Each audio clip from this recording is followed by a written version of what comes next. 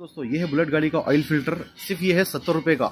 अगर इसको टाइम पे चेंज नहीं करे, आप देख सकते हैं टोटली ब्लॉक हो गया है। अगर ये ब्लॉक होने की वजह से अगर हेड के ऊपर ऑयल सप्लाई नहीं हुआ तो आपकी गाड़ी सीज हो सकती। है सत्तर रुपए की जगह आपकी गाड़ी को दस से बीस हज़ार रुपये लग सकते हैं कंपलसरी मिनिमम